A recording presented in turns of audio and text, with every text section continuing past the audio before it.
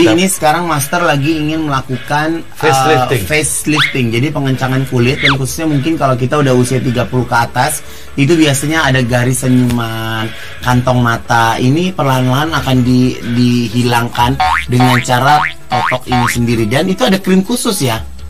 Ya kita hanya pakai krim pengencang wajah aja. Oke, itu pakai krim pengencang wajah dari lem. Ya kita dari Hah? Oh, dari bahan apa tuh, uh, Master? Ini. Serum ikan